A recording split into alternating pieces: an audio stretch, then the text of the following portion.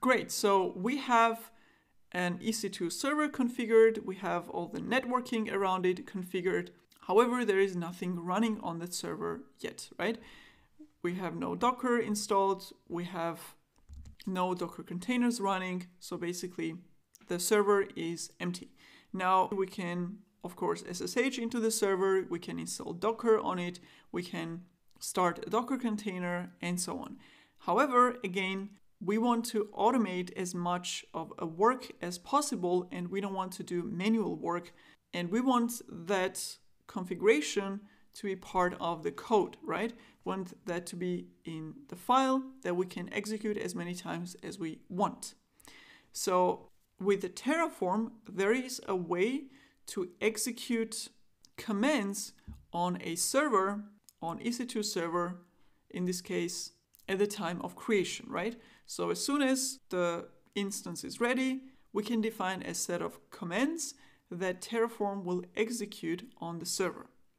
And the way to do that is using an attribute called user data. So user data is basically like an entry point script that gets executed on EC2 instance whenever the server is instantiated, right?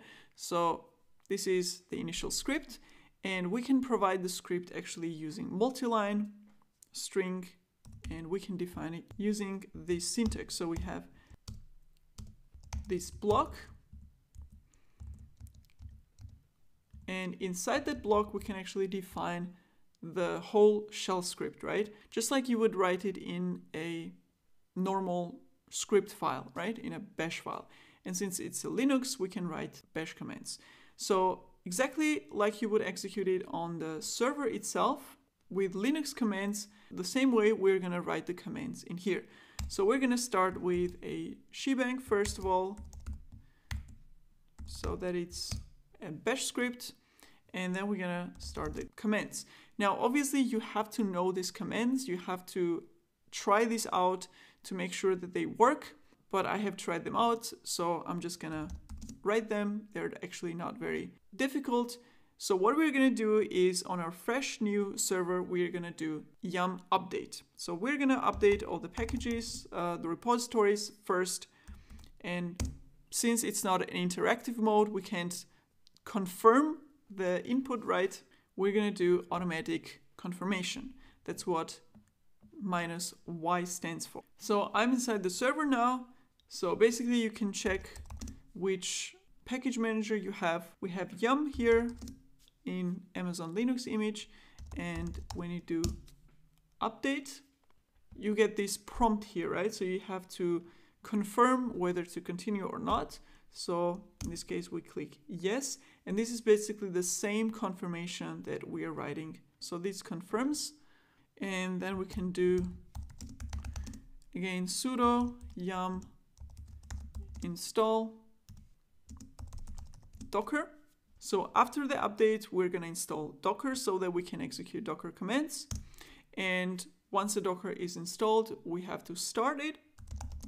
And we can do it using system control, start Docker. And these are all sudo commands because EC2 user doesn't have permission to install stuff. So we're gonna have to do that with sudo. And then we want to execute Docker commands without sudo command, right? And for that, we're gonna need to add the EC2 user to Docker group. And we're gonna do that using user mod or modifying the user, adding it to a group. That's what this stands for. Group name Docker, username EC2 user. This is the user that we are SSHing into as. This is the default Linux user that we have available on these Linux images. Right, so as I said, this command will basically add our user in Docker group, and that will make it possible for us to run Docker commands on that server without sudo. So now we can do docker run. And as I mentioned, we can start a very simple Nginx container on port 80 or port 8080 on the host and bind it to port 80 on Nginx. And this will be basically it. So these are the commands we want to execute right away after server is created. And this will make Nginx basically available on the server. And we're saving manual effort for SSHing into the server, installing all this, running container, and so on. So this should all be executed automatically by Terraform. So let's save it, and now let's actually do Terraform plan to see the changes that will be made. So let's clean this up. I have too many tabs open. So Terraform plan. And I'm just gonna close two of these. And let's see. So summary here, one resource will be destroyed, one resource will be added. And let's scroll up. And you see that the change that we just made, which is adding this user data execution here, actually forces the previous server or previous EC2 instance, this one to be destroyed and new one to be created. So this is a change that will recreate the whole instance, which is fine for us. So we're gonna just apply. So while this is applying, note that this block here will only get executed once, right? So for example, if we make changes to the tags, which will be basically just modifying existing server, like we just add another key pair here, something else, and the whole thing gets re-executed, this will only be executed once, right, on initial run. So just keep that in mind. So let's go back and you see that server, the previous one is getting destroyed. And let's wait a couple of seconds until the new one comes up. And this time we actually added output EC2 public IP. So we should see that in output here, instead of going to the management console to get the public IP address of the new EC2 instance, it will just save us some time. And there you go. As you see, the new public IP address is printed out here. And now if we grab this public IP address and SSH into the server, and now hopefully all of these commands should have executed. And if we do docker ps, there you go, we see our Nginx container already up and running. And the port binding is already in place. Now, we already configured security group for that. So port 8080 should be accessible from browser as well. So that means that on this public IP address, on port 8080, we should see Nginx welcome page.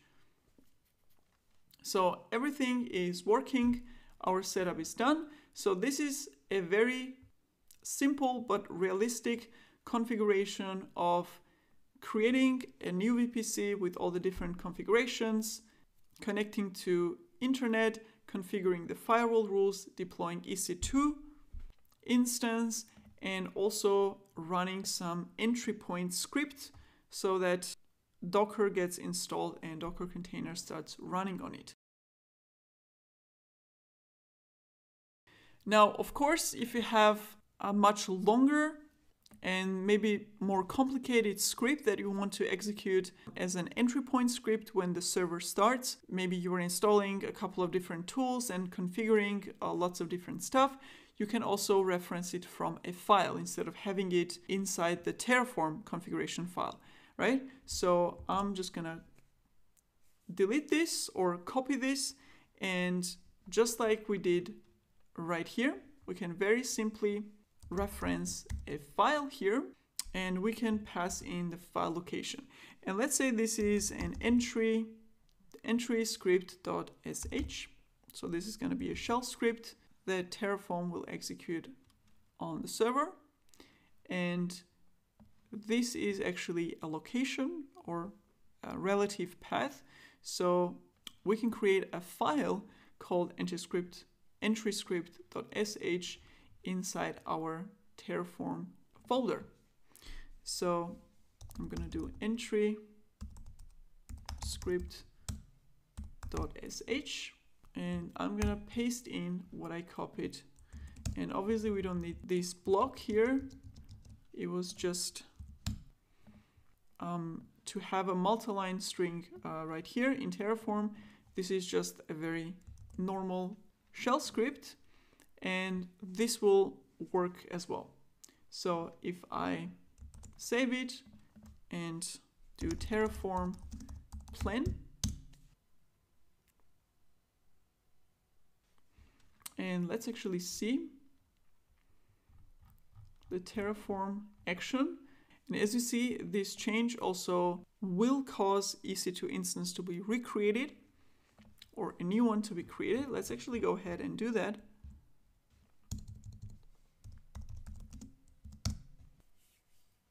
And let's actually check out the new public IP address real quick to make sure it is working. And there you go. We get the same welcome to Nginx page. So this is actually cleaner because we're separating the shell script from Terraform configuration file by just referencing the file instead of having the whole script um, inside the configuration file in here. So as I said, we can write bunch of more stuff in here that installs, configures, deploys applications and stuff on the server. And now as a final step, we can actually check all this code into a separate feature branch and push it to the remote repository. So we can do git checkout and we're going to create a new branch and let's call it feature deploy to EC2 with default components. And now we have all the changes that we made in the master branch um, transferred to this new branch. And here we can just add everything and commit the new configuration.